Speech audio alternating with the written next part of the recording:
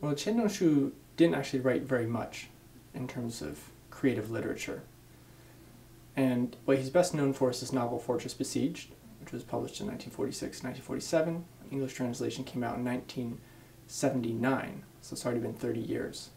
And that's pretty much where his literary reputation rests. Not many people look at his Human Beast Ghost story collection, there's only four stories in that, or in his 1941 essays. He wrote 10 essays, this collection. So the idea behind this book was to bring those early works together and make them available to an English speaking audience.